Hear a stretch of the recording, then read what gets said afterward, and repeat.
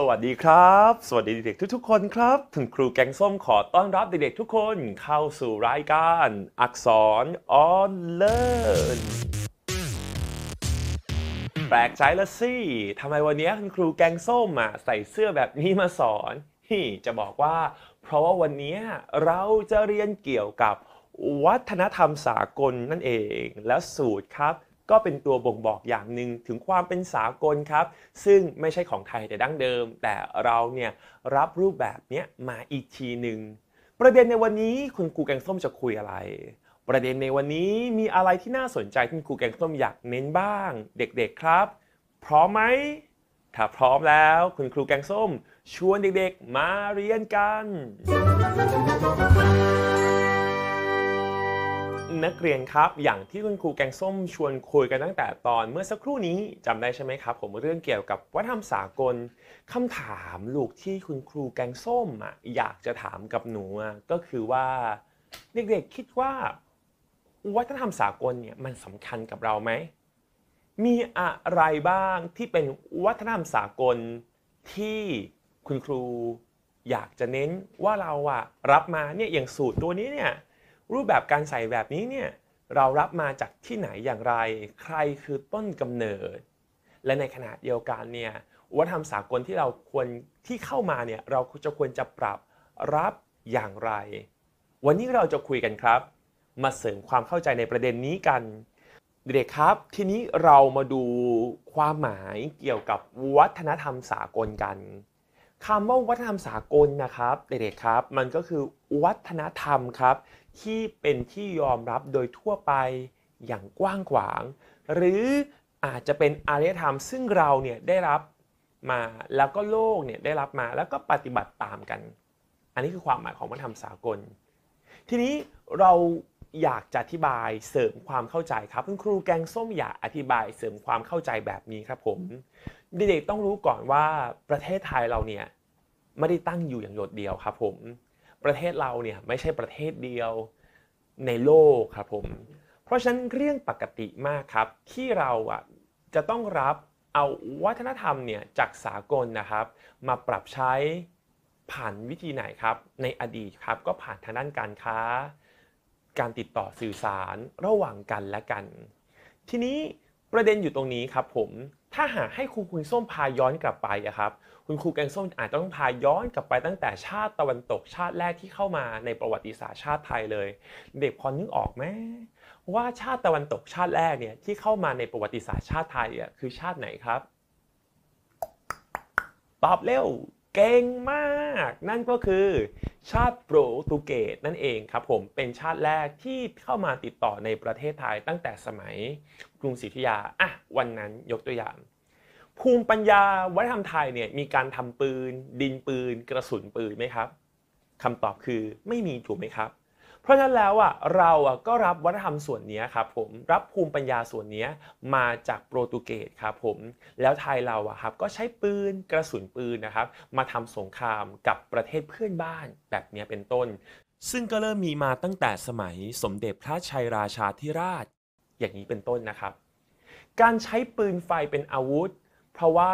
ตอนนั้นเนี่ยการใช้ดาบเนี่ยมันไม่มีอำนาจในการทำลายล้างมากนะ ไม่มีอำนาจในการต่อสู้มากนะเพราะนั้นดินปืนกระสุนปืนเลยเข้ามามีบทบาท ตัวอย่างแบบนี้ครับเป็นต้น ประกอบความเข้าใจใหม่ครับ ว่าทำไมเนี่ยเราถึงจำเป็นจะต้องรับวัฒนธรรมสากลมา คุณครูแกงส้มพาไปในช่วงสมัยรัตนโกสินทร์ครับ ทีนี้ไปในช่วงสมัยช่วงพระบาทสมเด็จพระนั่งเกล้าเจ้าอยู่หัวครับ ความรู้ด้านการแพทย์ครับภูมิปัญญาด้านการแพทย์แบบ ตะวันตกครับ ไม่ว่าจะเป็นการผ่าตัด การรักษาโดยการใช้วัคซีนอย่างเงี้ยครับ ก็ถูกมานำมาครับผมเผยแพร่ในวันนั้นเป็นต้นนะครับ หรือเดินทางผ่านไปอีกสักช่วงหนึ่งครับ ก็คือช่วงสมัยพระบาทสมเด็จ พระจอมเกล้าเจ้าอยู่หัว หรือรัชกาลที่ 4 ครับ การทำสนธิสัญญาเบลลิงเนี่ยเกิดขึ้นในปีพศ 2398 ครับผม ซึ่งในวันนั้นเนี่ยก็ก่อให้เกิดการเปลี่ยนแปลงอย่างหลากหลายในบ้านเรา การทำสนธิสัญญาเบลลิงคือ turning point ครับ คือจุดตัดสำคัญที่ทำให้เราอะครับเปลี่ยนจากเศรษฐกิจเพื่อยังชีพ กลายเป็นเศรษฐกิจเพื่อการค้า จากแต่ก่อนนะลูก คนเนี่ยปลูกเพื่อกิน เหลือเพื่อไปขาย แต่หลังจากทำสนธิสัญญาเบลลิง มีการสั่งยกเลิกพระคลังสินค้า ซึ่งแต่ก่อนตะวันตกต้องซื้อของผ่านซื้อขายผ่านพระคลังสินค้าเท่านั้น กลายเป็นซื้อของจากประชาชนโดยตรง เม็ดเงินนะลูกเลยสะพัดในประเทศเป็นอย่างมาก การใช้แบบพดด้วงอย่างเงี้ยครับ การใช้แบบเบี้ยอย่างเงี้ยครับผมคงไม่ไหวล้วก็เลยเกิดการใช้เหรียญกระสาบขึ้น ซึ่งภูมิปัญญาด้านเกี่ยวกับการทำเหรียญกระสาบ ความรู้เกี่ยวกับการทำเหรียญกระสาบ ก็เกิดขึ้นมาครับในช่วงนั้นหรือแม้กระทั่งการใช้ธนบัตรนั่นเอง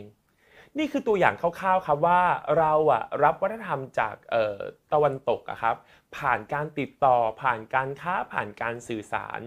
ไม่ใช่เรื่องแปลกครับที่เราจะมาใช้หยิบมาใช้หรือหยิบมาปรับ แต่ประเด็นอยู่ตรงที่ว่าเราจะทำให้วัฒนธรรมไทย คู่ขนานไปกับวัฒนธรรมสากลได้อย่างไร อันนี้เป็นประเด็นที่ครูแกงส้มอะอยากชวนเด็กๆครับ คิดต่อไปพร้อมกัน จากที่ครูแกงส้มพูดไปเมื่อสักครู่นี้ครับ นักเรียนครับก็จะค้นพบว่าจริง ๆ แล้วว่าถ้าหากว่าเรามองสิ่งรอบตัว จริงๆอะหลายสิ่งหลายอย่างเนี่ยเราอะหยิบมาจากองค์ความรู้ มาจากวิทยาการของตะวันตกทั้งสิ้น เช่น การคมนาคมขนส่งครับ ลืมไปหรือเปล่าครับว่าจริงๆแล้วอะรถไฟที่เกิดขึ้นครั้งแรกจริงๆอะเราก็รับมาจากตะวันตกครับ การตั้งโรงกระสาบอย่างที่ครูเองส้มพูดไปเมื่อสักครู่เกี่ยวกับการผลิตเหรียญกระสาบหรือการแพทย์ การสาธารณสุข ผ่านหมอบรัดเล่ที่นำภูมิปัญญา ด้านเกี่ยวกับการผ่าตัดครั้งแรกเนี่ยเข้ามาสู่ประเทศไทย รวมถึงทั้งการให้มิชชันนารีครับมาสอน บุคคลผู้ซึ่งอยู่ในวังนะครับผมเป็นการส่งเสริมด้านการศึกษา ทั้งหมดทั้งมวลที่เราพูดมา ก็รู้แล้วแต่เป็นวัฒนธรรมที่เราเนี่ยรับมาจากตะวันตกทั้งสิ้น ทีนี้เราจะมาคุยประเด็นถัดไปกันต่อครับ เรื่องอะไรเอ่ยคุณครูแกงส้ม คุณครูแกงส้มพานักเรียนมาขยายครับผมมาขยายในประเด็นเกี่ยวกับการกำเนิดของวัฒนธรรมสากลก่อนเลย ประเด็นที่คุณครูแกงส้มอยากชวนคุยประเด็นแรกก็คือเรื่องการค้นพบครับ คุณครูบอกแบบนี้ครับผมคุณครูบอกแบบนี้ว่าสำหรับการเริ่มต้นเนี่ยมันเกิดจากเอ่อความเชื่อของนักคิดในสมัยก่อน ซึ่งนำไปสู่การค้นพบ เช่น จากตะกอนนะครับผมคนไม่กล้าออกไปไหน เพราะว่าโป๊ปคริสเนี่ยบอกว่าโลกอะแบนแต่เพราะว่าไม่มีมีคนไม่เชื่อแบบนั้นนะครับ ก็เลยเริ่มมีการออกเดินทางไปยังที่ต่างๆ ไม่ว่าจะเป็นมาร์โคโปโล คริสโตเฟอร์โคลัมบัสมาร์โคโปโลนี่เดินออกเดินทางไปจนกระทั่งถึงประเทศจีนเลยนะครับ ในราวศตวรรษที่ 13 หรือการเดินทางของคริสโตเฟอร์โคลัมบัสที่ไปยังหมู่เกาะอินเดียตะวันตกราวศตวรรษที่ 15 นี่ยังไม่นับการเดินทางของชาวดาวินที่เดินทางรอบโลก ในราวศตวรรษที่ 19 นะครับผมการเดินทางเหล่านี้เองครับ จึงทำให้พบความหลากหลาย พบวัฒนธรรมประจำพื้นที่ ซึ่งก็เกิดการแลกเปลี่ยนเรียนรู้สำหรับการค้นพบในดินแดนใหม่ๆ ในที่ต่างๆ ของโลกครับ สิ่งที่เกิดขึ้นตามมาอีกก็คือการส่งผลให้นักวิทยาศาสตร์นะครับนำความรู้ที่ได้ไปพิสูจน์ครับ ไปเปรียบเทียบครับ กับสิ่งที่เกิดขึ้นต่างถิ่น ลักษณะกายภาพ ภูมิอากาศ สิ่งแวดล้อม และก็เกี่ยวกับความเชื่อที่ไม่เหมือนกัน ก็เกิดเป็นทฤษฎีต่างๆ มากมาย ยังประโยชน์จัน มาถึงมนุษยชาติในปัจจุบัน นี่ประเด็นแรกนะครับ มาดูต่อครับนักเรียนในประเด็นที่2ครับ เรามาดูด้านที่ 2 ต่อกันนะครับ ก็คือด้านประดิษฐกรรมครับผม คุณครูแกงส้มอยากขยายเรื่องนี้ดังต่อไปนี้ครับผมสำหรับประดิษฐกรรมนะครับ การประดิษฐกรรมเนี่ยก็การคิดค้นวิทยาศาสตร์เนี่ยเป็นผลพวงมาจาก ความรู้ของคน ยุคเก่าๆอะครับนักปราชญ์ที่เก่งๆในยุคเก่าๆเนี่ยสั่งสมกันมาเรื่อยๆครับตั้งแต่ในอดีตเดียวเชียว ทีเนี้ยความรู้ที่คนในยุคก่อนเนี่ยได้คิดได้สั่งสมมาครับ ก็ถูกถ่ายทอดให้กับคนรุ่นสู่รุ่นครับจนจนปัจจุบันครับ ความรู้ต่างๆเหล่านี้ครับ ก็เป็นพื้นฐานสำคัญครับ ในการส่งให้เกิดการคิดประดิษฐ์สิ่งของเครื่องใช้ต่างๆ ในการดำเนินชีวิตประจำวันของพวกเรา แต่สิ่งที่เพิ่มเติมมาคืออะไรครับผมก็คือการต่อยอดด้านคุณภาพ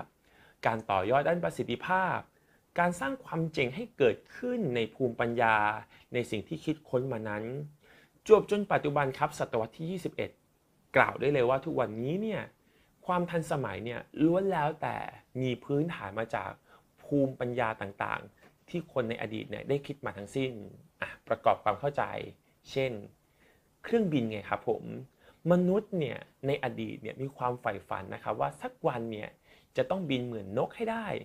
นักวิทยาศาสตร์ในวันนั้นเนี่ยครับผมก็ทำไมครับมีการประดิษฐ์เครื่องลงเครื่องล่อน แล้วก็ต่อยอดจนกระทั่งเป็นเครื่องบินในปัจจุบัน ยกตัวอย่างใหม่ครับแต่ก่อนเนี่ยเราอยู่ได้เพราะว่าความสว่างจากดวงอาทิตย์ แต่เมื่อมีการคิดค้น เมื่อมีการประดิษฐ์ เมื่อมีการค้นคว้าก็เลยเกิดไฟฟ้าให้พวกเราอะได้ใช้กัน นี่คือภูมิปัญญาครับ นี่คือองค์ความรู้ นี่คือชุดความรู้ที่คนในอดีตนะครับ สร้างสรรค์ขึ้นมา สั่งสมขึ้นมา แล้วก็ใช้ระยะเวลาในการพัฒนาต่อยอด แล้วก็คนในปัจจุบันเนี่ยก็มารับต่อช่วง แล้วก็พัฒนาให้มีความทันสมัยยิ่งขึ้น ประเด็นทั้งหมดที่ครูเองส้มพูดมา นี่คือประเด็นของการกำเนิดวัฒนธรรมสากล แต่ทีนี้ ทีนี้ประเด็นถัดมาที่ครูแกงส้มจะคุยต่อครับ ก็คือเรื่องเกี่ยวกับอิทธิพลของวัฒนธรรมสากลที่มีผลต่อการดำเนินชีวิตในสังคมไทย เรื่องแรกที่ครูส้มจะชวนคุยครับ ก็คือเรื่องที่อยู่อาศัยครับว่าเอ๊ะวัฒนธรรมสากลนี้มันมีผลยังไงต่อสังคมไทยครูพายย้อนกลับไปครับในอดีตอะมาคุยกันครับ หนูรู้ใช่ไหมว่าในอดีตนะครับผมการสร้างบ้านเรือนของคนไทยในวันนั้นเนี่ย เข้าใจธรรมชาติ แล้วก็สภาพภูมิอากาศ บ้านเราอะครับอยู่ในเขตร้อนนะครับผมมีอากาศแบบร้อนนะครับ คนในวันนั้นเนี่ยเวลาสร้างที่อยู่อาศัยอะครับก็จะพยายามออกแบบทุกอย่างเพื่อให้อากาศมันถ่ายเท เช่น การสร้างบ้านหลังคาให้สูงโปร่งเช่น การทำใต้ถุนสูงครับเพื่อให้อากาศถ่ายเท รวมถึงทั้งเพราะว่าเมืองไทยเป็นเมืองน้ำครับเป็นแหล่งน้ำเป็นที่รับรู้แม่น้ำโดยเฉพาะในภาคกลาง เพราะฉะนั้นก็เลยการการสร้างบ้านแบบใต้ถุนสูงเนี่ย จะเป็นการทำให้สามารถป้องกันน้ำท่วมได้ในระดับหนึ่ง หรือถ้าหากว่ามีน้ำท่วมมาก็จะได้รับผลกระทบที่ไม่มากนัก แต่พอมาในวันนี้ครับผมการสร้างบ้านเนี่ยก็เน้นความสวยงาม เน้นฟังก์ชันที่หลากหลาย รวมถึงทั้งเมื่อวิทยาการต่างๆนะครับทำให้การป้องกันน้ำท่วมเนี่ยมันประสบความสำเร็จ ยิ่งขึ้น เพราะฉะนั้นแล้วอะการออกแบบบ้านทุกวันนี้ก็เริ่มได้รับอิทธิพลมาจากตะวันตกครับ มีการสร้างบ้านให้ดูโมเดิร์นทันสมัยหรือมีรูปแบบต่างๆ ซึ่งอ้างอิงจากตะวันตกนั่นเอง ทีนี้มาดูต่อครับมาดูต่อในด้านที่ 2 ครับ ด้านการแต่งกายครับ เด็กๆครับ เรื่องเกี่ยวกับการแต่งกายเนี่ยไม่ว่าจะเป็นเสื้อเอ่อเสื้อยืดคอกลม เสื้อเชิ้ตกระโปรง กางเกงยีนรองเท้าผ้าใบรองเท้าส้นสูง นักเรียนรู้ไหมครับว่าทั้งหมดที่ครูแกงส้มพูดมาเนี่ยไม่ใช่วัฒนธรรมไทยโดยพื้นฐานทั้งสิ้น เหล่านี้ที่ครูแกงส้มพูดมาครับล้วนแล้วแต่เราอะได้รับอิทธิพลมาจากตะวันตก แต่เมื่อเรารับเข้ามาครับ เรามาปรับใช้ครับ แล้วเราก็ทำให้การติดต่อ การพูดคุย การสื่อสาร การค้าขายเนี่ยใช้รูปแบบการแต่งกายแบบนี้ครับ ก็ถือได้ว่าทำให้รูปแบบการแต่งกายแบบนี้เป็นที่แพร่หลายจวบมาจนถึงปัจจุบัน มาดูต่อครับในด้านที่ 3 ครับ ด้านอาหารครับ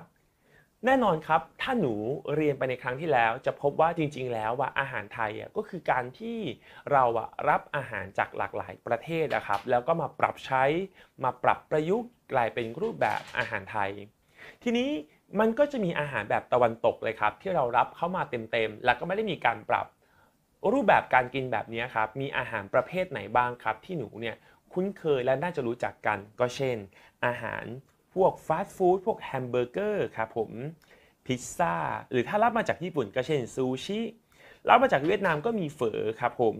หรือถ้าหากว่ารูปแบบการกินในลักษณะแบบห้องอาหารภัตตาคาร อันเนี้ยเราก็ได้รับอิทธิพลมาจากต่างประเทศเช่นเดียวกัน ต่อนะครับมาดูด้านภาษาครับ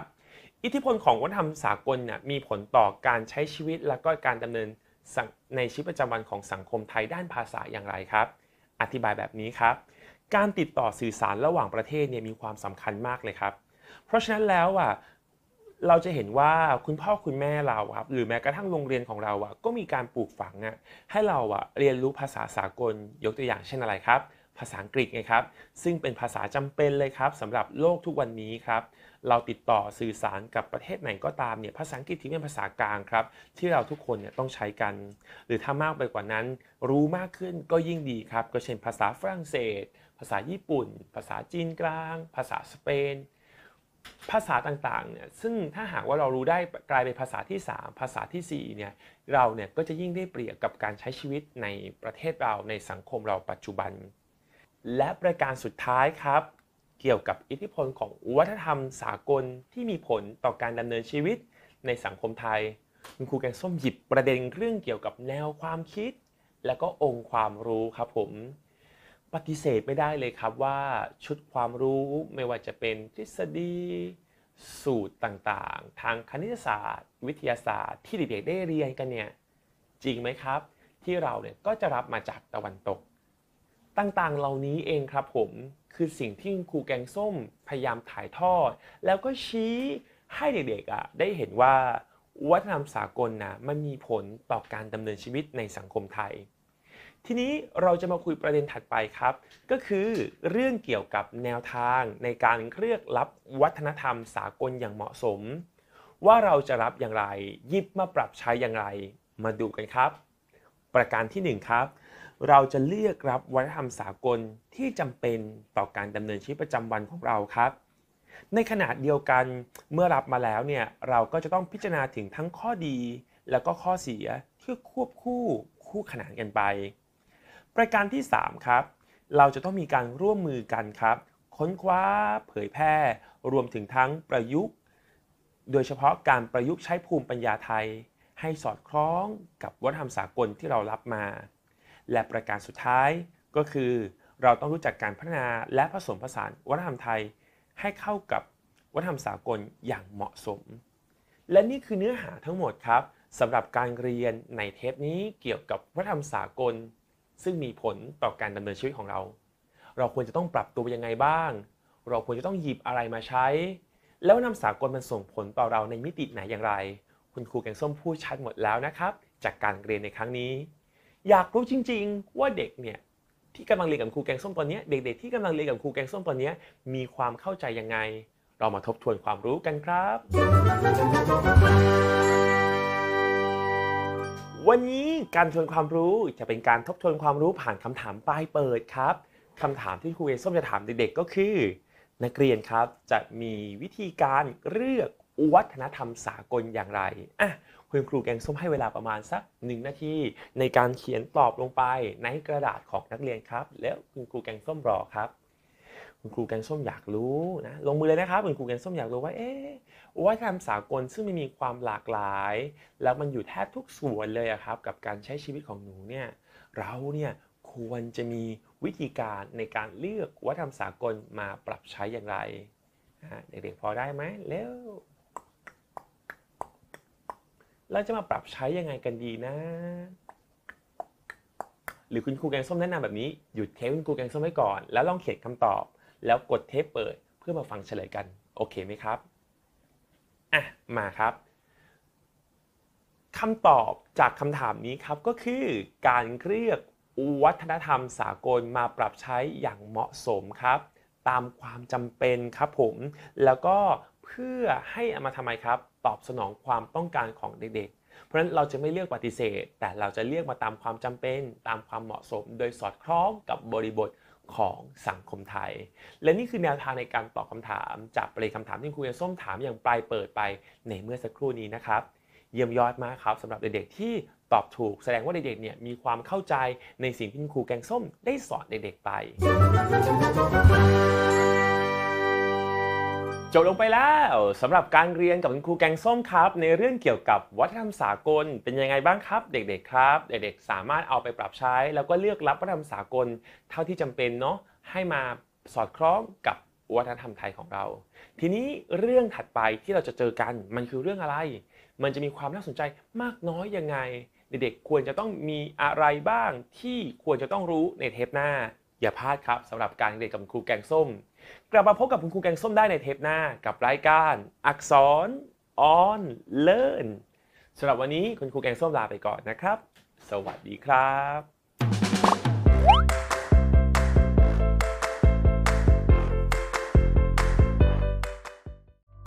อย่าลืมกดติดตามและกดกระดิ่ง เพื่อไม่ให้พลาดสาระความรู้ดีๆ จากพวกเราอักษร Education